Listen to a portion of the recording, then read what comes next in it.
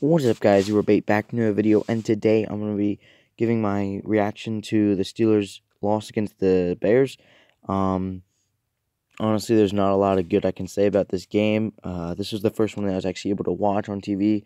Um, but yeah, early on they just struggled really bad um, stopping Jordan Howard and, you know, they put it into overtime and then just, they lost the coin toss and then just let the Bears, Jordan Howard just ran right through them and um, yeah, it really just they did not play well. Um, you know, 235 yards and a touchdown for Ben Roethlisberger, no interceptions, three sacks. That's not too bad. Um, obviously, the run game never got started. Um, Antonio Brown had a good game, but other receivers, you know, no one else topped 40 yards. Boswell had a missed field goal, which was, um, you know, that hurt him, obviously, going into overtime. Um, obviously, the game would have been much different if he had made that. Um, you know, but I mean, look at that: 101 pass passing yards on defense and an interception. Um, but Jordan Howard just had 140 yards. You know, you you just really can't let a guy break away like that. No, no one got over 26 yards receiving. Um, but the running game just fell apart completely. You know, they had well over 200 yards um, of pass defense, or sorry, rush defense.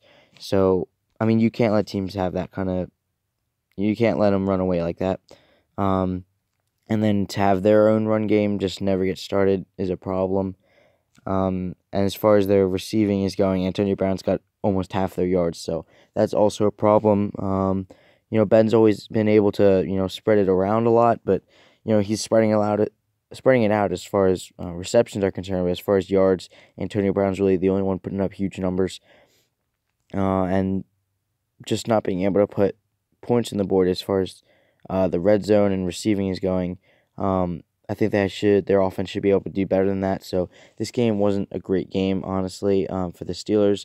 Obviously, they lost to the Bears, who were zero and two, and they had never been leading at all in the entire year so far. So, um, yeah, everyone was kind of just like, okay, classic Steelers, you know, losing to the bad teams.